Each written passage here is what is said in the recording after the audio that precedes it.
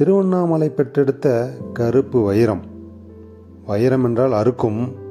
ஆனால் இவரோ கதை சொல்லி யாரையும் அறுப்பதுமில்லை மனதால் வெறுப்பதுமில்லை. இவரை பார்த்ததும் கதைகளெல்லாம் பேசவா பேசவா என்னை பற்றி பேசவா பவா என்றழைக்குமாம். கேள்விப்பட்டிருக்கிறேன் இவர் கதை சொல்லும் அழகைக் கண்டு மயங்குவர்களில் மனிதர்களை விட மைக்குகளே அதிகமாம். நாம் படிப்பதற்காக பிறந்த கதைகளை விட இவர் சொல்வதற்காக பிறந்த கதைகளே அதிகம் இம் மண்ணில் உண்டு. எல்லோரும் உறங்க கதை சொல்வார்கள். இவர் மட்டும்தான் உள்ளம் விழிக்க கதை சொல்வார். புத்தகங்களில் பக்கங்களில் உறங்கிக் கொண்டிருக்கும் கதைகளுக்கு தன் காந்த குரலால் உயிர் கொடுத்து நம் காதுகளில் சேர்க்கும் பிரம்ம தேவன் இவர். திருவண்ணாமலையில் அருணாச்சலேஸ்வரர் ஆனால் இவர் ஒரு ஆறுமுகன். ஆம் எழுத்தாளர் பேச்சாளர் பதிப்பாசிரியர் மொழிபெயர்ப்பாளர் நடிகர் கதை சொல்லி என்ற ஆறு முகங்கள் உண்டு இவருக்கு. அருளும் தருவார் கதைகளின் வழியே. இவரிடம் எந்த உண்மையை கேட்டாலும் கதையே சொல்லுவார். மன்னிக்கணும் கதை போலவே சொல்லுவார். பிற்போக்குத்தனங்களை உடைத்தெறியவே தன்னை முற்போக்கு எழுத்தாளர்கள் சங்கத்தில் இணைத்து கொண்டவர். இவர் படித்த கதைகளும் ஏராளம் இங்கே படைத்த கதைகளும் ஏராளம். ஆம் நட்சத்திரங்கள் ஒளிந்து கொள்ளும் கருவறை நீர் மற்றும் கோழி பத்தொன்பது டிஎம் சரோனிலிருந்து எல்லா நாளும் கார்த்திகை பங்கு கறியும் பின்னிரவுகளும் என்ற பல சிறுகதை தொகுப்பினுக்கு சொந்தக்காரர் இவர். மேலும் கரடி நீரோட்டம் வஞ்சம் வலி பிடி கால் பச்சை இருளன் வேட்டை சிங்கார குளம் ஏழுமலை ஜமா மண்டித்தெரு பரோட்டா சால்னா. வேறு வேறு மனிதர்கள் சிதைவு சத்ரு என்று எண்ணற்ற சிறுகதைகளை தன் அறிவு கருவறையில் பெற்றெடுத்த தாயுமானவன். புத்தகங்களில் கைபதித்தவர் வெள்ளி திரையிலும் கால்பதித்தார் ஆம் நண்பர்களே ஜோக்கர் பேரன்பு குடிமகன் சைக்கோ வால்டர் போன்ற திரைப்படங்களிலும் நடித்திருக்கிறார். வீடுகளை கலைநயத்தோடும் கிராமிய மனத்தோடும் வடிவமைத்து வாழ்வதில் ஆர்வமிக்கவர். நம் இதயங்களில் குடியிருக்கும் இவரோ பலருக்கு குடியிருக்க வீடு கட்டி தந்திருக்கிறார்.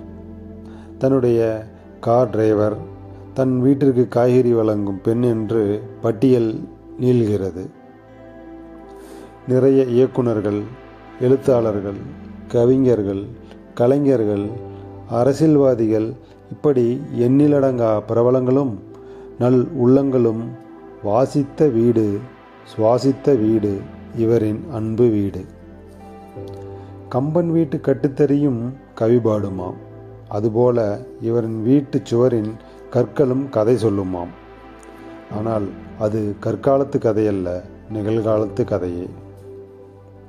நல்ல வேளை மொழிபெயர்ப்பாளரையே மனைவியாக கொண்டிருக்கிறார்.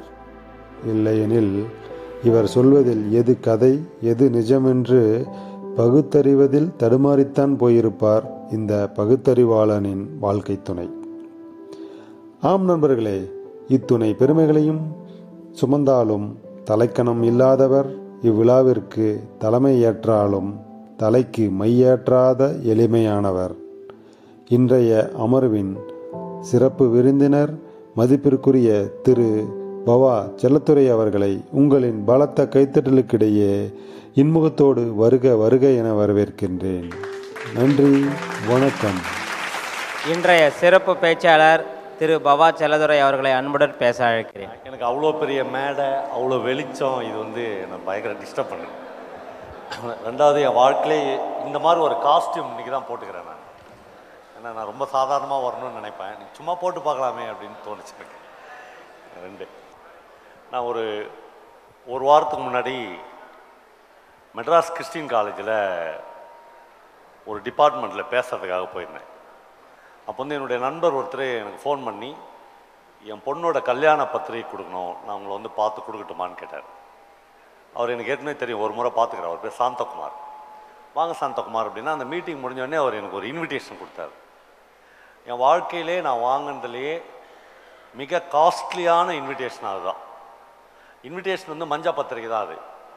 ஆனால் அவர் அது கூட வச்சு கொடுத்த பொருள்லாம் கிட்டத்தட்ட ஒரு 50000 ரூபாய் இருக்கும். அவர் வந்து ஒரு கால் பவுன் நகை வச்சுருந்தாரு.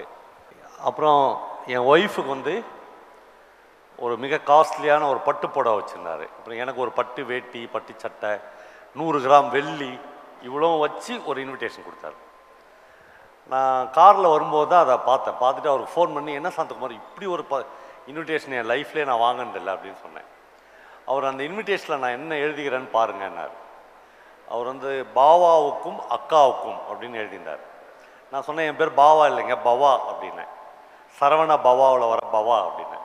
அவர் சொன்னார் அது எனக்கு தெரியும் ஆனால் நான் உங்களை வேணும்னே தான் பாவான்னு எழுதினேன். எங்கள் அக்காவுக்கும் எங்கள் மாமாவுக்கும் ஒரு இன்விடேஷன் கொடுத்தா எப்படி கொடுப்பனோ அப்படி கொடுத்துக்கிறேன் அப்படின்னார். நான் எதுக்காக சாந்தகுமார்லேருந்து ஆரம்பிக்கிறேன்னா சாந்தகுமார் யாருன்னு எனக்கு தெரியாது.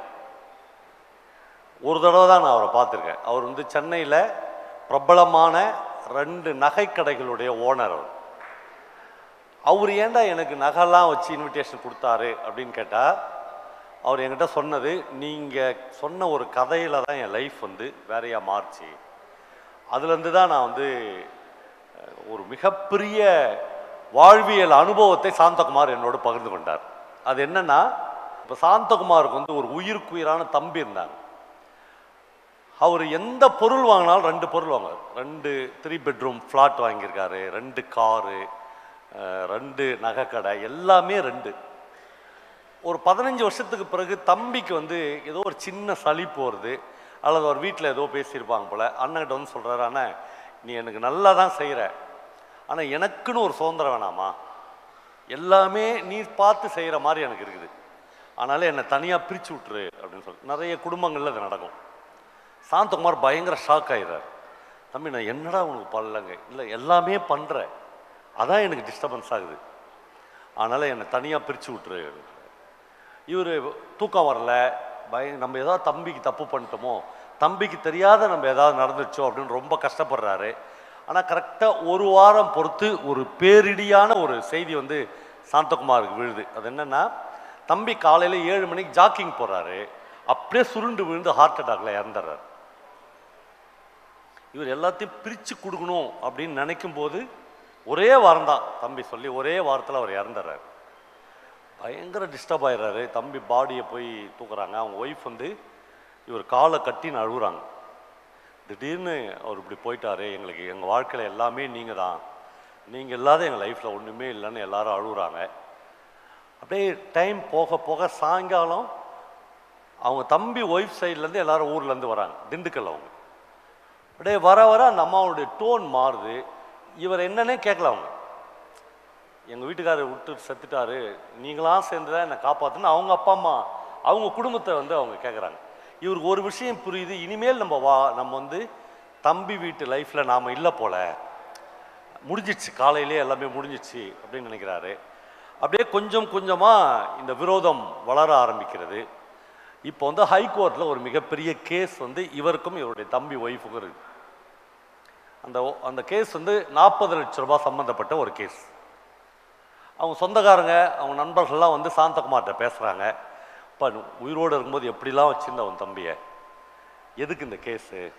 வெறும் நாற்பது லட்ச ரூபாய். அவருடைய ஸ்டேட்டஸ்க்கு நாற்பது லட்ச ரூபான்றது ஒரு பெரிய விஷயம் இல்லை.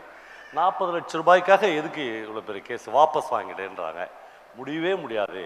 மனுஷன் வந்து எப்பயுமே அந்த கர்வம் ஈகோ இதில் தான் முற்றிலும் அழிஞ்சு போவாங்க. நீ நம்ம லைஃப்பில் எவ்வளோ பேரை பார்த்துருப்போம்.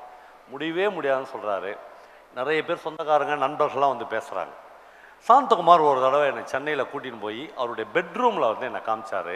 இங்கே வச்சு தான் நானும் என் ஒய்ஃபும் உங்கள் கதைகள்லாம் கேட்பேன் சார் அப்படின்னார். அந்த நடுவில் அவர் பெட்ரூமில் அந்த அந்த பெட்டில் என் கதையை வச்சு கேட்குற ஒரு இடத்த காமிச்சிட்டு ஒரு நள்ளிரவில் நான் சொன்ன அபஸ்வரம் அப்படின்ற ஒரு கதையை அவரும் அவங்க ஒய்ஃபும் கேட்குறாங்க. கேட்டுட்டு ந நள்ளிரவு டைம் பார்க்குறாங்க ஒன்றரை மணி லைட்டை போடுறாங்க ரெண்டு பேரும் அழுகுறாங்க. ரெண்டு பேரும் அழுதுட்டு ஒரு முடிவுக்கு வராங்க. நாளை காலையில் அந்த கேஸை நான் வாபஸ் வாங்கிட போகிறேன்னு அவர் சொல்கிறார் ஒய்ஃப்கிட்ட முதல்ல போய் வாங்குங்கன்னு அவங்க ஒய்ஃப் சொல்கிறாங்க அவர் சொல்கிறார் எங்கள் சொந்தக்காரர்கள் எங்கள் நண்பர்கள் அவ்வளோ பேரும் பேசி நான் கன்வின்ஸ் ஆகவே இல்லை. ஒரு கதை என்னை கன்வின்ஸ் ஆகிடுச்சு அந்த அந்த கதைக்கு அந்த கதைக்காகத்தான் என் வாழ்க்கையை நான் மாற்றிக்கொள்கிறேன். அதற்காகத்தான் என் சொந்த அக்காவாகவும் மாமாவாகவும் உங்களை நினைக்கிறேன். அதுக்காக தான் இந்த இன்விடேஷன் நான் கொடுக்குறேன். நீங்கள் தான் வந்து என் பொண்ணுக்கு வந்து தாலி எடுத்து கொடுக்கணும். யாருன்னே தெரியும் நான் ஒரே ஒரு கதை சொல்லிக்கிறேன். அவ்வளோதான் அப்போ என்ன நான் சொல்ல விரும்புகிறேன்? எங்கிருந்து ஆரம்பிக்க வேண்டும் என்று நம்புகிறேன் என்றால் ஒரு கதை என்பது கதை இல்லை. அது நம்முடைய வாழ்வியலை நம்முடைய இறையாண்மையை நம்முடைய அறத்தை திரும்பி பார்க்க வைக்கிற ஒரு மாபெரும் சக்தி. மனிதன் தனக்கு கிடைத்த எல்லாவற்றையும் வாரி குவித்து கொள்ள வேண்டும் என்கிற வெறியில் ஓடிக்கொண்டே இருக்கிறான். அதை வந்து தன்னுடைய வெற்றி என்று இந்த உலகத்துக்கு சொல்லிக் கொண்டே இருக்கிறான். ஆனால் அறமும் இந்த மாதிரியான வாழ்வியல் கதைகளையும் அவன் சட்டையை பிடிச்சி இழுக்குது. நில் நில் எங்கே ஓடுற? என்ன பணம் நீ இப்போ பண்ணுறதெல்லாம் கரெக்டானா நீ இப்படி சேர்த்த பணம் வந்து அறத்திற்கு சமீபத்தில் தான் இருக்கிறதா? நீ வந்து நேர்மையாகத்தான் வாழ்கிறாயா? இந்த வாழ்க்கையை சரியாகத்தான் அணுகுகிறாயா என்று ஆயிரம் கேள்விகளை இலக்கியமும் வாழ்வியலும் உங்களுக்கு கேட்டுக்கொண்டே இருக்கிறது. நம்மளை அப்படிதான் சாந்தகுமார் என்கிற யாரோ ஒரு நகைக்கடை ஓனருக்கும் ஒரு கதைக்கும் அது என்ன சார் கதை? இந்த அபஸ்வரம் என்கிற கதை என்ன அப்படின்னா ஒன்றும் இல்லை என்னுடைய நண்பர் பிரபஞ்சன் எழுதின ஒரு கதை ரொம்ப சாதாரணமான ஒரு கதை. நீங்கள் யாராச்சும் அப்பாவோடு சேர்ந்து மகன்கள் ஒரு நீண்ட தூரம் வாக்கிங் போய்க்கிறீங்களான்னு யோசித்து பாருங்கள் அப்படி கடைசியாக போய் எவ்வளோ நாள் ஆச்சு அப்படின்னு யோசித்து பாருங்கள் இங்கே நிறைய அப்பாக்கள் இருக்கலாம் நிறைய மகன்கள் இருக்கலாம். உங்கள் அப்பாவோட நடந்து நடந்து போகிற பாக்கியம் உங்களுக்கு சமீப காலத்தில் எப்போ நிகழ்ந்துச்சு என்று யோசித்து பார்த்தால் உங்களை அறியாமல் நீங்கள் அப்படி நடந்து போகிற போது ஒரு பத்து நிமிஷத்துக்குள்ள ஆட்டோமேட்டிக்காக உங்கள் அப்பா கையும் மகன் கையும் ஒன்றா சேர்ந்துக்கும். நீ யாருமே சொல்லித்தர வேணாம் அது எப்பொழுதோ உங்கள் அப்பா கையை நீங்கள் விட்டு இருப்பீங்க ஆனால் இந்த நடை உங்களை அறியாமல் கைகளை கோர்த்து கொள்ள சொல்லும். அதே மாதிரி மகள்களோடு அப்பாக்கள் ஒரு காரிலோ ஒரு பஸ்ஸிலோ ஒரு ட்ரெயின்லேயோ ஒரு மிக நீண்ட தூரம் ஒரு பயணிக்க வேண்டும். வாழ்க்கையில் இது ரெண்டும் என்னுடைய லட்சியம். எனக்கு ரெண்டுமே நடந்திருக்கு. நான் என் பொண்ணோடு சேர்ந்து திண்டுக்கல் வரையிலும் ஒரு கார் பயணத்தில் போனேன். ஏழு மணி நேரம் அந்த கார் பயணம். என்னென்னா ஒரு யூனிவர்சிட்டியில் என்னை சீஃப் கெஸ்ட்டாக கூப்பிட்டுருந்தாங்க. காந்திகிராம் யூனிவர்சிட்டியில் நான் இன் இன்விடேஷன் வந்தோடனே பயங்கரமாக அசந்துட்டேன். என்னன்னா ரெண்டு பேர் சீஃப் கெஸ்ட்டு ஒன்று நான் இன்னொன்று என் பொண்ணு. நான் வந்து என் பொண்ணு வந்து ப்ளஸ் ஒன் படிக்கிறாப்போ நான் அவளை கூப்பிட்டு கேட்டேன் மானசி உன்னை கூப்பிட்டுக்கிறாங்க? உன் பேர் தான் ஃபஸ்ட்டுக்குது உன்னை எதுக்கடி கூப்பிட்டாங்க? அப்படின்னு கேட்டேன். அந்த உன்னை கூப்பிட்டாங்கள அவங்கள போய் கேளு அப்படின்ட்டா. எனக்கு ரொம்ப ஆச்சரியமாயிடுச்சு. என்னடா இந்த பொண்ணு? அவள் என்னடா பண்ணா அப்படின்னு யோசித்தேன். அவள் எட்டாவது படிக்கும்போது ஒரு தமிழ் புத்தகத்தை ஆயிஷா அப்படின்னு புத்தகத்தை ஆங்கிலத்தில் டிரான்ஸ்லேட் பண்ணிக்கிறான். அதான் அவளுடைய பெரிய கிரெடிட் நாங்கள் ரெண்டு பேரும் ஒரு மழை நாளில் ஒரு காரில் உட்காந்து ட்ராவல் பண்ணோம் கொஞ்சம் தூரம் போன உடனே மனசு இப்போ சொல்லு. உன்னை ஏன் யூனிவர்சிட்டியில் கெஸ்ட்டாக கூப்பிட்டாங்கன்னு கேட்டேன். அவன் சொன்னால் அதான்ப்பா என்னை யாவன் கூப்பிட்டானோ அவனை வைஸ் சான்சலர் போய் கேட்க சொல்கிறான் என்ன? நான் இல்லை பாப்பா. அப்படின்னோடனே அவன் சொன்னால் அந்த ட்ராவல் முடியறதுக்குள்ள ஒரு இருபது ரைட்டர்ஸை எனக்கு அவள் அறிமுகப்படுத்தினான் டால்ஸ்டாய் தாஸ்தாவஸ்கி காஃப்கா வான்கோன் ஒரு மிகப்பெரிய ஓவியர் எல்லாரை பற்றியும் பேசுகிறார் எனக்கு பயங்கர ஆச்சரியமாயிடுச்சு. இந்த இருபது பேரையும் நான் கேள்விப்பட்டதே இல்லை. அவள் போகும்போது சொன்னான் ஒரு பத்து தமிழ் எழுத்தாளனை படிச்சுட்டு நீ ஊர் ஊராக போய் கதை சொல்லுங்கிற. உன்னையே ஒரு ஒரு யூனிவர்சிட்டியில் கூப்பிடுறாங்க. நாங்கள் வந்து இவ்வளோ ரைட்டர்ஸை படிச்சுக்கிறேன்னா. என்ன எதுக்கு நான் இதை சொல்ல விரும்புகிறேன்னா ஒரே வீட்டில் தான் நம்ம பொண்ணு நம்ம பையன் நம்ம மனைவி எல்லாரும் வசிக்கிறோம். ஆனால் அவர்களுடைய மன உலகம் என்னன்னு உங்களுக்கு தெரியவே தெரியாது. நமக்கு தெரியவே தெரியாது. நான் அதை எப்போ கற்றுக்கினேன் நான் அடுத்த நாள் காலையில் அந்த ஸ்டேஜில் நானும் அவளும் பக்கத்து பக்கத்தில் உட்காந்தோம் அவள் சொன்னால் நானும் எங்கள் அப்பாவும் ஒரே வீட்டில் தான் வசிக்கிறோம். எனக்கு என்ன கலர் பிடிக்குன்னு கூட அந்த ஆளுக்கு இன்னும் தெரியாது அப்படின்னா. அவருடைய ஸ்பீச் முழுக்க தமிழ் ஹிந்து பேப்பரில் ஒரு பக்கம் ரிப்போர்ட் ஆயிடுச்சு அப்போ ஒரு விஷயம் பேசும்போது நான் அந்த மேடையிலேருந்து ஆறு முறை கீழே எழுந்துச்சு போய் அழுதேன். சார் வாழ்க்கையில் இவ்வளோ மிஸ் பண்ணிக்கிறேன் நம்ம ஒரு விஷயம் அவன் சொல்கிறா எங்கள் வீட்டில் தமிழ் ஹிந்து பேப்பர் வாங்குறோம். எட்டு வருஷமாக வாங்குறோம். இந்த தமிழ் ஹிந்து பேப்பர் போகிறதுக்காக ஒரு பையன் வருவான். அவனுக்கு காலையில் ஒரு காஃபி போட்டு கொடுக்கணும் அப்படின்னு அந்த பெல் சத்தம் அந்த சைக்கிள் பெல் சத்தம் கேட்டவுடனே நான் வீட்டிலேருந்து எழுந்துச்சி அவசர அவசரமாக வருவேன். நான் வருவதற்குள்ளாக அந்த பையன் பேப்பரை போட்டு போயிடுவான். ஒரு நாள் கூட நான் அவனை மீட் பண்ணதே இல்லை. ஏன் அந்த பையனுக்கு நான் ஒரு காஃபி போட்டு கொடுக்குறேன் அப்படின்னா அவன் தினந்தோறும் மூன்றரை மணிக்கு எழுந்திருக்கிறான். நாலு மணிக்குள்ள பஸ் ஸ்டாண்டுக்கு போய் இரநூத்தி இருபத்தைந்து பேப்பரை தன்னுடைய சைக்கிளுக்கு வாங்கிக்கிறான். மெட்ராஸ்லேருந்து வர பேப்பரை எட்டே கால் மணிக்குள்ள இரநூத்தி இருபத்தைந்து வீடுகளுக்கு அவன் தமிழ் ஹிந்து பேப்பர் போடுறான். போட்டுட்டு இருக்கிற கால் மணி நேரத்துக்குள்ள அவன் வீட்டுக்கு போய் குளிச்சு ரெடி ஆகி அவசர அவசரமாக தலை துவட்டியோ துவட்டாமலோ எங்கள் கிளாஸ்க்கு வந்து என் பக்கத்தில் உட்கார்ந்து படிக்கிற சுதாகர் தான் அந்த பையன். ஆமாம் அவனுக்கு ஒரு காஃபி போட்டு கொடுக்கணும் அப்படின்னு ஆசைப்பட்றேன் ஆசைப்படுறேன். அந்த பையன் வாழ்க்கை இவ்வளவு மேடு பள்ளமானதா நம்ம கூட படிக்கிற ஒரு சக ஸ்டூடெண்ட் வீட்டுக்கு பேப்பர் போடுற அளவுக்கு வாழ்க்கை நம்மளை கீழே வச்சிடுச்சே என்கிற நிர்பந்தத்தால் என் முகத்திலேயே முழிக்காமல் அவன் வேக வேகமாக போய்விடுகிறான். நண்பர்களே வாழ்க்கை என்பது எல்லோருக்கும் பொதுவானது இல்லை உங்களுக்கும் எனக்கும் வேறு வேறானது என்று என் பொண்ணு அந்த ஸ்பீச்சை ஆரம்பிக்கும் போது இவ தான் இந்த மேடைக்கு தகுதியானவ நாம கிடையாது என்கிற முடிவுக்கு நான் வந்தேன். இந்த அபஸ்வரம் கதை என்னன்னா அப்பா வந்து ஒரு அறுபத்தஞ்சு வயசு உள்ள ஒரு பழுத்த காங்கிரஸ்காரர். பையன் வந்து பாண்டிச்சேரி கவர்மெண்ட்டில் வேலை பார்க்குறான். பையன்கிட்ட அப்பா சொல்கிறாரு தம்பி இன்றைக்கி ஒரு நாள் லீவ் போடு. ஏன்பா? கோர்ட்டுக்கு போகணும். இந்த கோர்ட்டுக்கு போகாத குடும்பத்திலிருந்து வந்தவங்க வந்தவங்க இருக்காங்களே உண்மையிலேயே அவர்கள் பாக்கியசாலிகள். ஏதோ ஒரு வகையில் அவர்கள் இந்த உலகத்தில் நான் சமீபத்தில் ஒரு பெரிய இன்ஜினியர்ஸ் மாநாட்டில் போய் பேசினேன் ஈரோட்டில் இது திருப்பூரில். ஆனால் என்னை ரிசீவ் பண்ணும்போது அந்த அந்த இன்ஜினியர்ஸ் எல்லாம் சொன்னாங்க சார் மூணு வகையில் தான் கொங்கு பெல்ட்டே கட்டப்பட்டுக்குது அப்படின்னாங்க. என்ன வகைன்னா ஒன்று வந்து ஆடம்பரமான வீடு பெரிய வீடுகள் கட்டுறது. நான் அங்கே உட்காந்துக்கும் போது இந்த லைன்லேருந்து ஒரு தோழர் இருந்து என்கிட்ட கை கொடுத்து சார் இல்லை இன்னொருத்தர். சார் நீங்கள் சொன்ன அந்த வீடு மாற்று வீடுகள் பற்றி நான் கேட்டேன். என் வாழ்க்கையில் அப்படி தான் சார் நான் ஒரு வீடு கட்டுவேன். தயவுசெய்துங்க யாராவது பெரிய வீடு கட்டணும் அப்படின்னு பிளான் இருந்தீங்கன்னா அதை மாற்றிருங்க சின்ன வீடாக கட்டினா போதும். எதுக்குன்னா எனக்கு ஒரு நல்ல ஞாபகம் வருது. சிவாஜி கணேசனுக்கு ஒரு தடவை ஹார்ட் அட்டாக் வந்துச்சு. வந்து அவர் போய் அப்போலோவில் அட்மிட் பண்ணியிருந்தாங்க. பாரதி ராஜா போய் அவரை பார்க்க போகிறார் பாரதி ராஜா தான் சொன்னார் என்கிட்ட. பாரதி ராஜா போய் சி சிவாஜியை பார்க்க போகிறார் நாலாவது நாள். சிவாஜி அப்படியே பெட்டில் எழுந்துச்சி உட்கார்றாரு. வா ராசா. என்னண்ணாச்சு? அப்படிங்கிறது ஒன்றும் இல்லைப்பா டெய்லி சாப்பிட்டுட்டு ஒரு ரெண்டு மணி நேரம் தூங்குவேன். கமலா தான் என் பக்கத்தில் படுத்துக்கும். அன்னைக்கு தூங்கி எழுந்துச்சு பார்த்தா நெஞ்சு வலிக்குது வேர்த்து கொட்டுது. முடிவு பண்ணிட்டேன். ஹார்ட் அட்டாக் தானே டேபிள்லே அந்த மாத்திரை இருக்குது நாக்கு கடியில் வச்சுக்கிற மாத்திரை. அதை எடுத்தேன்னா கீழே விழுந்துருவேன். உனக்கு தெரியும் நான் எவ்வளோ பெரிய பாடின்னு. கீழே விழுந்தா சோழி முடிஞ்சிடும் ஆமாம் எடுக்கிறதா வேணாமான்னு நான் பிரபு ராம்குமார் கமலா அப்படின்னு கத்துறேன். கேட்கல ஏன்னா வீடு அவ்வளோ பெரிய வீடு. உடனே அவர் பாரதராஜா கேட்குறாரு நீ வீடு கட்டிட்டியான்னு கேட்குறாரு நாலு வீடு இருக்குது நான் சென்னையில். சின்ன வீடாக கட்டு. கூப்பிட்டா யாராவது வந்து மாத்திரை எடுத்து கொடுக்குற அளவு சின்ன வீடாக கட்டு.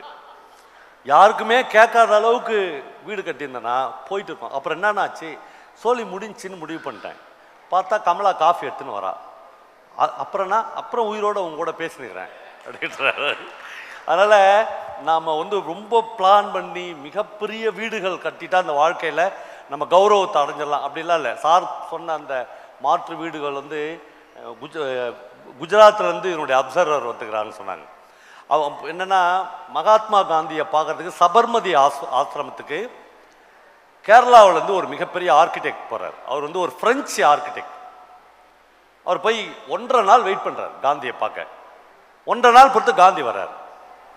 டேய் வந்த உடனே இவர் பயங்கர பரவசத்தில் போய் தேச தந்தையை பார்த்துட்டோம். அவர்கிட்ட இவர் இன்ட்ரடியூஸ் பண்ணுறாங்க he's Laurie Baker extraordinary architect இது வந்து கேரளாவில் பல வீடுகளை கட்டுறதுக்காக ஃப்ரான்ஸ்லேருந்து வந்திருக்காரு. உடனே அவர் கை கொடுக்குறாரு. காந்தி அவரை பார்த்து கேட்குறாரு which is the best house எது ஒரு நல்ல வீடு? அப்படின்னு கேட்குறாரு இவர் ஐ டோன்ட் அண்டர்ஸ்டாண்ட் சார் எனக்கு நீங்கள் என்ன கேட்குறீங்கன்னு புரியல. இல்லை எதை ஒரு நல்ல வீடுன்னு சொல்லுவேன் அப்படின்னு மறுபடியும் காந்தி கேட்குறாரு உண்மையிலே எனக்கு புரியல சார் அப்படின்னு ரெண்டாவது தடவை சொல்கிறாரு காந்தி சொல்கிறாரு எந்த வீட்டை கட்டுமானம் செய்ய எந்த வீட்டை கட்டுவதற்கு டிரான்ஸ்போர்ட்டேஷன் தேவையில்லையோ போக்குவரத்து தேவையில்லையோ அதுதான் தி பெஸ்ட் ஹவுஸ் என்று சொல்கிறார். இவர் அப்படியே அசந்து போய் நிற்கிறார் அதுக்கு என்ன அர்த்தம்னா வேலூரில் வீடு கட்டி வேலூரில் மண்டபம் கட்டுறவங்க எதுக்குடா ராஜஸ்தான் டைல்ஸ் போடுறீங்கன்னு கேட்குறாரு அவ்வளோ தூரம் லாரியில் டிரான்ஸ்போர்ட் ஆகி இட்டாலியன் மார்பிளை இட்டாலியில் தான் போடணும் இங்கே ஏன் போடுறேன்னு கேட்குறாரு எதுக்கெல்லாம் டிரான்ஸ்போர்ட்டேஷன் தேவையில்லையோ வேலூரில் என்னென்னலாம் கிடைக்குதோ வேலூரில் நிறைய குன்றுகள் இருக்குது நிறைய மலைகள் இருக்குது. இங்கே இருக்கிற பொருளில் எது எடுக்கிறியோ அதுதான் வேலூரினுடைய தி பெஸ்ட் ஹவுஸ் இப்போ என்னுடைய ஃபோட்டோலாம் போட்டேங்க. அந்த ஃபோட்டோவில் நானும் என் ஒய்ஃபும் உட்காந்துக்கிற மாதிரி ஒரு வீடு இருக்கும். அவனோட பேக்ரவுண்டு ஃபுல்லாக பார்த்தீங்கன்னா கருங்கல் இருக்கும். அந்த கருங்கல் முழுக்க நாங்கள் எங்கள் பூமியிலேருந்தே எடுக்கப்பட்ட கருங்கற்கள். அதை வச்சே வீடு கட்டினோம். லாரி பேக்கர் என்ன சொல்கிறாருன்னா செங்கல் இருக்குதுல்ல செங்கல் சூளை வைக்கிறல்ல. செங்கல் சூளையை முடிச்சிட்டிங்கன்னா ஒரு கல் நல்லா வெந்திருக்கும். ஒரு கண்ணு லேசாக வெந்திருக்கும். இன்னொரு கண்ணு சரியாகவே வேகாது. இந்த மூணு கல்லையும் ஒன்றா வச்சு ஒரு கன்ஸ்ட்ரக்ஷன் பண்ணும்போது அது வந்து பேரழகு. ஒரு கருப்பு பொண்ணு ஒரு மா ஒரு ப்ரௌன் பொண்ணு ஒரு செக்கச்செவேல்னு இருக்கிற பொண்ணு. மூணு பேரும் நிற்க வச்சா அது எவ்வளோ அழகோ அவ்வளோ அழகு அந்த வீட்டோட சுவர். நாம் என்ன பண்ணுறோம் அந்த வீட்டு சுவர் வச்சுட்டு அதுக்கு மேலே சிமெண்ட் போட்டு பூசுகிறோம் அதுக்கப்புறம் என்ன பண்ணுறோம் அதுக்கு மேலே பட்டி பார்க்குறோம் அதுக்கப்புறம் என்ன பண்ணுறோம் அதுக்கு மேலே பெயிண்ட் அடிக்கிறோம். லாரி பெக்கர் என்ன சொல்கிறாருன்னா செங்கல்லையே அழகுடா. அதை விட அழகு நீ பட்டி பார்த்து ஒரு பெயிண்ட் அடிக்கிறதுல எட்டுன்னு வந்துட முடியுமான்னு கேட்குறாரு அப்போது அஞ்சு லட்சம் ரூபாயில் கட்ட வேண்டிய வீடுகளை வெறும் ஒன்றரை லட்சம் ரூபாயில் லாரி பேக்கர் கேரளா முழுக்க கட்டி கொடுத்தாரு கேரளாவினுடைய செக்ரட்டரியேட்டே அவர் கட்டினது தான் அவ்வளோ பெரிய மாற்று வீடுகளுக்கு அவ்வளோ பெரிய தன்மை இருக்கிறது. அது வந்து அவ்வளவு ஆத்மார்த்த ரீதியாக நம்ம நம்ம இதுக்கு போயிடலாம். அபஸ்வரம் கதைக்கு. அவர் அப்பா வந்து பையன்கிட்ட கேட்குறாரு கோர்ட்டுக்கு போகணும். ரெண்டு பேரும் நடந்து கோர்ட்டுக்கு போகிறார்கள். நான் இந்த ஆரம்பத்தில் சொன்னது மாதிரி அப்பாவின் கையை பையன் பற்றிக்கிறான் ரெண்டு பேரும் பேசினே போகிறாங்க மழை இல்லை என்றால் கூட அப்பா எப்பயும் கொடை வச்சிருப்பார் கையில். ரெண்டு பேரும் கோர்ட்டுக்கு போகிறாங்க நிற்கிறாங்க ஒரு அரை மணி நேரம் வெயிட் பண்ணுறாங்க ஒரு பெரிய காரில் குமரேசன் மாமா வந்து இறங்குகிறார். குமரேசன் மாமா இந்த பையனையும் அப்பாவையும் பார்ப்பதை தவிர்க்கிறார். அப்பா தலை குவிந்து கொண்டு நிற்கிறார். கொஞ்ச நேரத்தில் கூண்டில் அப்பாவை ஏற்றுக்கிறார்கள் நீதிபதி அப்பாவை பார்த்து பேசுகிறார். ஒரு லட்ச ரூபாய் சேட்டுக்கிட்ட நீங்கள் தானே வாங்குனீங்க என்று கேட்கிறார். அப்பா ஆமாம் அப்படின்னு சொல்கிறார் பையன் குமரேசன் மாமாவை பார்க்குறான். ஏன்னா அப்பா வாங்கலை. இந்த குமரேசன் மாமா என்பவர் தஞ்சாவூரிலிருந்து பஞ்சம் பிழைப்பதற்காக பாண்டிச்சேரிக்கு வந்தவர். அப்பாவை தான் முதல் முதல்ல வந்து பார்க்குறாரு. ஏதாவது எனக்கு ஒரு வழி பண்ணுங்க என் வாழ்க்கைக்கு என் தென்னந்தோப்பு பக்கத்தில் ஒரு பெட்டிக்கடை வச்சுக்க அப்படின்னு அவர் தான் இவருக்கு அனுமதி தருகிறார். ஒரு பெட்டிக்கடை வைத்து கொண்ட குமரேசன் மாமா வாழ்க்கையில் மேலே மேலே போய்க்கொண்டே இருக்கிறார். அப்பாட்ட வந்து ஒரு நாள் அவர் சொல்கிறாரு பிரிட்டானியா பிஸ்கெட்டு டீலர்ஷிப் வந்துக்குது பாண்டிச்சேரியில். நான் அதை எடுக்கணும். ஒரு லட்ச ரூபாய் டெபாசிட் கேட்குறான் சேட்டுக்கிட்ட போய் கடன் கேட்டேன்.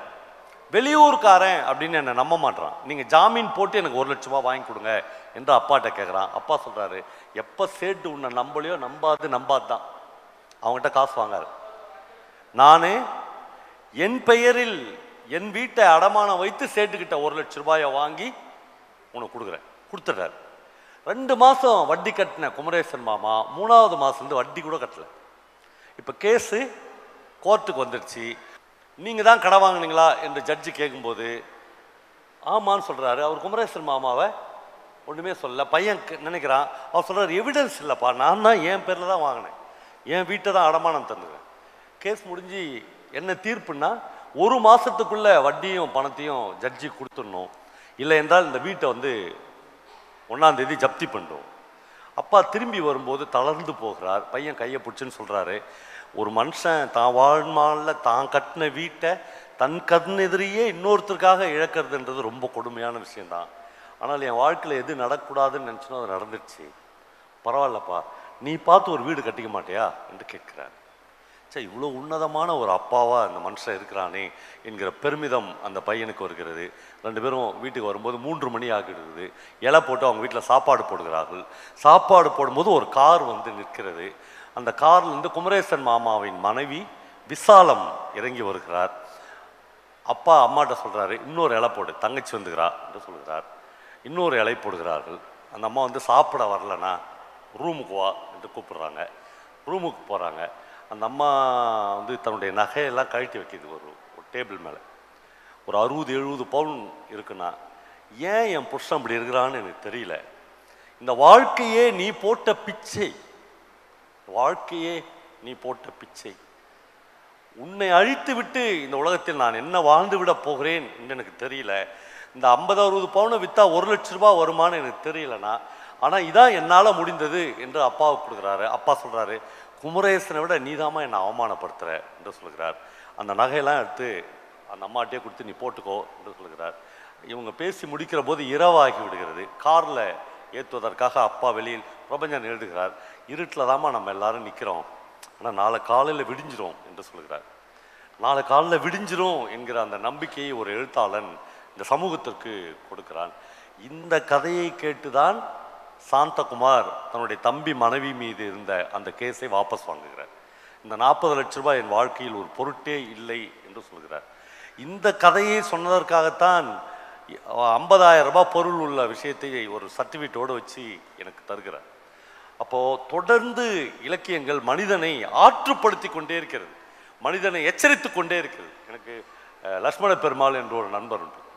நண்பர்களே எளிய மனிதர்கள் இருக்காங்களே நம்மளை மாதிரி பெரிய சொபிஸ்டிகேட்டடான லைஃபு உத்தரவாதமான வாழ்க்கை இல்லாத மிக மிக எளிய மனிதர்கள்.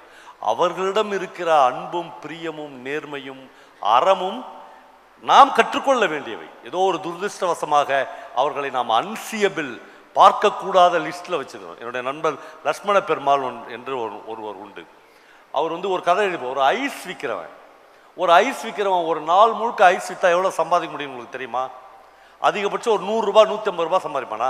அவ்வளோதான் அதுவும் ஐஸ் உருகிடுச்சுன்னா அதுவும் போச்சு. ரெண்டு ஐஸ் எடுத்து ஃப்ரீயாக கொடுத்துட்டான்னா அதுவும் குறைஞ்சிரும். அவன் வீட்டில் மொத்தம் ஏழு பொண்ணு.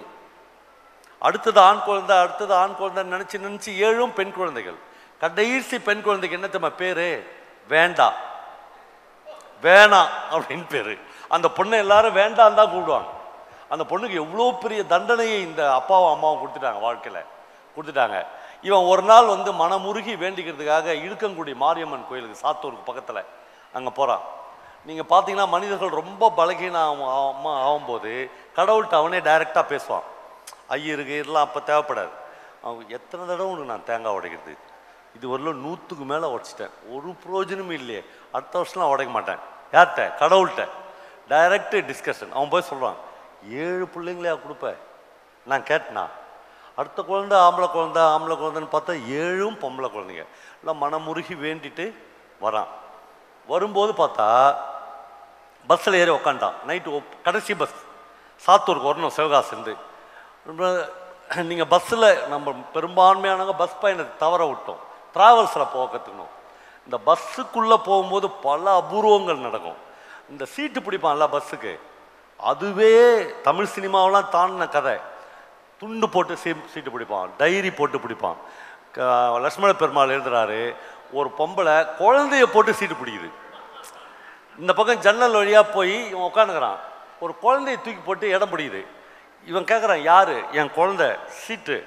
அங்கே போய் இதை வந்துடுறேன். இவன் குழந்தைய தூக்கி பார்க்குறான். அதுவும் பொம்பளை குழந்தை. இவன் என்ன பண்ணுறதுன்னு தெரியாத குழந்தைய வச்சுன்னு உட்காடுறான் பஸ்ஸு புறப்பட போகுது. அந்த பொம்பளை வரவே இல்லை. இவன் இவன் கையில் குழந்தைக்குது எழுந்துச்சி ஏம்மா குழந்தை யாருதுமா குழந்தை யாருதுமான்னு கத்துறான் கத்துனா பஸ் டிரைவர் கண்டக்டர்லாம் என்ன ஷோ காமிக்கிறியா? அப்படின்றாங்க. இறக்கி விட்டுறாங்க அவனை. பஸ்ஸு போயிடுச்சு. இப்போது இவன் க்ளீனாக முடிவு பண்ணிட்டான். இருக்கக்கூடிய மாரியம்மன் வேலை தான் இது. ஏ- ஏற்கனவே ஏழு குழந்தை. எட்டாவது குழந்தையும் பொம்பளை குழந்தையா இவ கொடுத்துட்டா? இவன் ரொம்ப சோதிக்கிறான் நம்மள.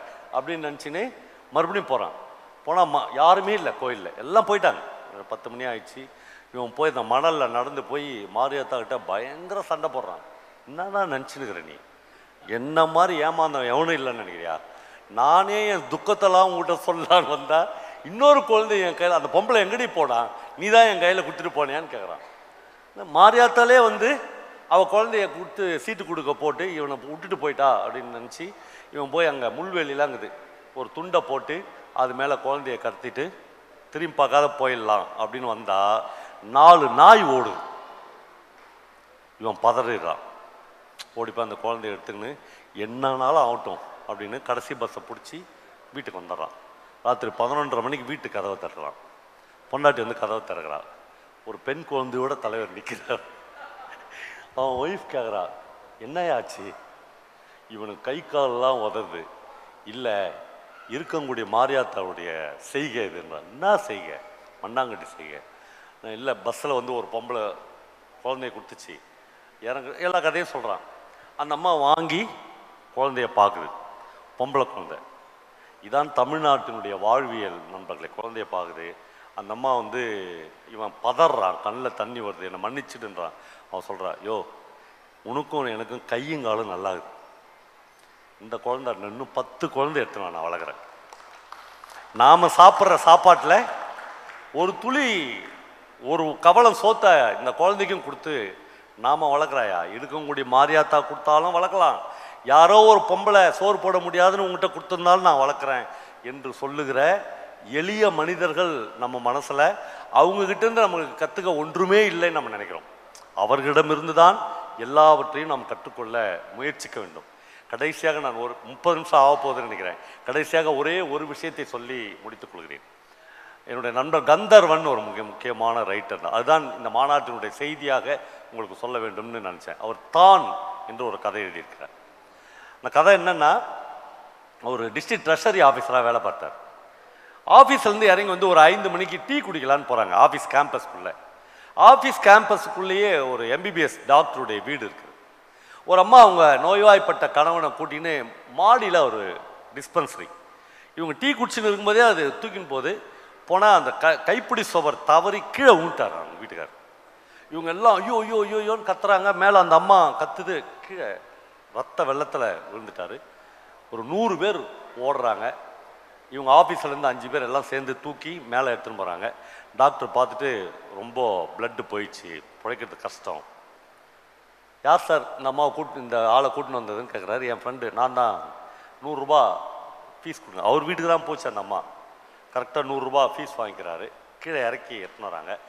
வேணா தஞ்சாவூர் மெடிக்கல் காலேஜை கூட்டின்னு போய் பாருங்கள் பிழைக்கிறதுக்கு வா- ஏதாவது வாய்ப்பு இருக்குதுன்னு சொல்கிறாங்க அவர் வந்து அந்த அம்மாட்ட கேட்குறாரு காசு வச்சுக்கிறியாம்மா வீட்டில் இல்லை சார் இன்றைக்கே பக்கத்து வீட்டில் ஐம்பது ரூபா கடை வாங்கி எட்டுன்னு வந்தேன் ட்ரீட்மெண்ட்டு அவர் ஒரு அம்பாசிடர் காரில் அந்த ஆளை ஏற்றிக்கின்னு என் வீட்டுக்கு போ என்று சொல்கிறார் அவர் வீட்டில் பிஎஃப்பில் லோன் போட்டு ஏழாயிரத்தி ஐநூறுரூபாய் வச்சுக்கிறார். ஏழாயிரத்தி ஐநூறுரூவா எடுத்து பாக்கெட்டில் வச்சுக்கின்னு இரவு பதினோரு மணிக்கு மேலே கார் வந்து புதுக்கோட்டையிலேருந்து தஞ்சாவூர் மெடிக்கல் காலேஜை நோக்கி போகிறது.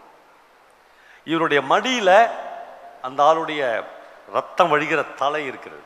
இவருடைய பேண்ட்லாம் ரத்தக்கரையாக இருக்கிறது. ஒரு நிமிஷம் அவருக்கு ஒன்று தோன்றுகிறது. சாயங்காலம் அஞ்சரை மணிக்கு இந்த ஆள் அடிபட்டார்.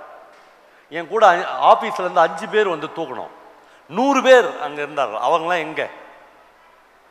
அவங்களாம் போயிட்டாங்க. அவங்களாம் வீட்டில் போய் சாப்பிட்டுட்டு குளிச்சுட்டு டிவி பார்த்துட்டு தூங்கிட்டாங்க. நான் போகலை. நான் மட்டும்தான் இவன் என்ன ஜாதி என்ன மதம் என்று கூட தெரியாமல் என்னுடைய தொடையில் என்னுடைய தலையை சாய்த்து கொண்டிருக்கிறேன். இவனுக்கும் எனக்கும் என்ன சம்பந்தம்? ஆனால் என் வீட்டுக்கு போய் என் பொண்ணு கல்யாணத்துக்கு வச்சிருந்த ரூபாயில் ஏழாயிரத்தி ஐநூறுரூபாய் எடுத்துன்னு வந்து இவனுக்காக நான் கொடுக்க போகிறேன். ஏனென்றால் நான் ஒரு தொழிற்சங்கவாதி நான் ஒரு மார்க்சியம் படித்தவன் நான் ஒரு எழுத்தாளன் மற்ற எல்லாரை விட எனக்கு சமூக அக்கறை அதிகமாக இருக்கிறது என்று அவன் நினைத்துக் கொள்கிறான். கார் போய்க்கொண்டே இருக்கிறது. ராத்திரி ஒரு மணிக்கு தஞ்சாவூர் மெடிக்கல் காலேஜில் போய் இவனை அட்மிட் பண்ணுறான் டாக்டர் வந்து வெளியே கேட்குறாரு இந்த பேஷண்ட்டு கூட வந்த சொந்தக்கார் யார்? இப்போ நான் தான். பிளட்டு நிறைய வேஸ்ட் ஆயிடுச்சு.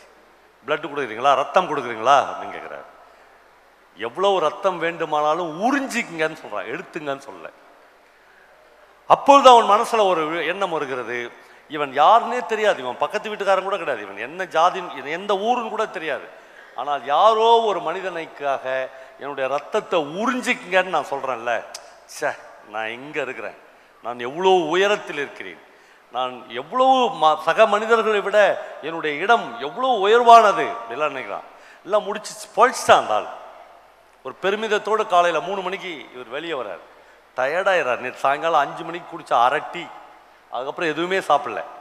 வெளியே வராரு ரொம்ப டயர்டாகுது. அந்த கவர்மெண்ட் ஆஸ்பத்திரிக்கு வெளியே வந்து பார்க்குறாரு. பாலித்தீன் பைகள் போட்டு நிறைய பேர் பழக்கடைகளை மூடி விட்டு தூங்கிக்கிறாங்க நாம் பார்ப்போம்.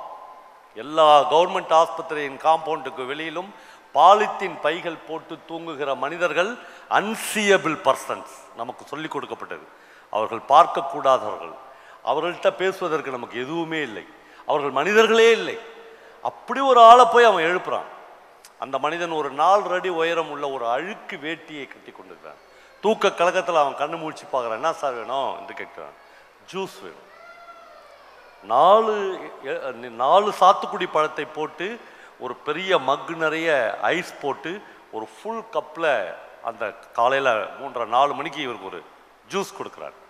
ஜூஸ் குடிச்சிட்டு ரொம்ப ஃப்ரெஷ்ஷாக ஃபீல் பண்ணிவிட்டு ஒரு நூறு ரூபாயே எடுத்து அந்த அவங்ககிட்ட கொடுக்குறாரு. அவருக்கு மேலே சட்டெல்லாம் இல்லை. இந்த அழுக்கு வேஷ்டியை போத்தின்னு தான் படுத்துக்கிறான். வேஷ்டி கட்டின்னு அவன் தூக்க கழகத்திலே இவரை பார்த்துக்கிறான். ரத்தம் கொடுத்தியா சார்? என்று கேட்குறாரு. ஏன்னா பிளாஸ்டர் ஒட்டிக்குது ரத்தம் கொடுத்தியா சார்? என்று கேட்குறாங்க. ஆமாம் ரத்தம் கொடுத்த யார்ட்டையுமே நான் காசு வாங்க மாட்டேன் சார். நண்பர்களே JCI clubs Rotary club Lions club இவர்கள் இப்படி இருக்க வேண்டும் அப்படி இருக்க வேண்டும் என்கிற பேராசை எல்லாம் ஒரு எழுத்தாளனாக எனக்கு இல்லை. அட்லீஸ்ட் அந்த அழுக்கு வேஷ்டிக்காரன் மாதிரி நாம் இருந்து விட்டால் போதும் என்று நான் விரும்புகிறேன். எந்த எந்த தருணத்திலும் நாம் மிகப்பெரிய சேவையை செய்து கொண்டிருக்கிறோம். இந்த சமூகத்தில் மற்றவர்கள் செய்யாத ஒரு மகத்தான சேவையை நாம் தான் முன்னெடுக்கிறோம். நாம் தான் பட்டியலிடுகிறோம் என்கிற எந்த பிரச்சனையும் இல்லாமல் இந்த சமூகத்துக்காக ஒப்படைத்த தன்னை ஒப்படைத்து கொண்ட கான்சியஸ் இல்லாத அந்த அழுக்கு வேஷ்டிக்காரன் என் வாழ்க்கையில் ரொம்ப ரொம்ப முக்கியமானவன். அவனை மாதிரி நான் வாழ வேண்டும் என்று ஆசைப்படுகிறேன். அவனை மாதிரி நீங்களும் இருக்க வேண்டும் என்ற என் சக பிரியத்தை உங்களோடு சொல்லி விடைபெறுகிறேன். நன்றி. மக்களின் வாழ்வியலை எவ்வாறு அமைய வேண்டும் என்று மிகச் சிறப்பாக எடுத்து கூறியுள்ளீர்கள். நன்றி ஐயா. அவருக்கு மிகப்பெரிய கைத்தட்டல் கொடுக்கலாம்னு நினைக்கிறேன். தேங்க்யூ ஸோ மச் அவரை மரியாதை செய்ய conference director JC Venkatesh post president JC Kalpana மற்றும் பாஸ்ட் பிரசிடென்ட் ஜேசி மணிவண்ணன் அவர்களை மேடைக்கு அழைக்கிறேன்.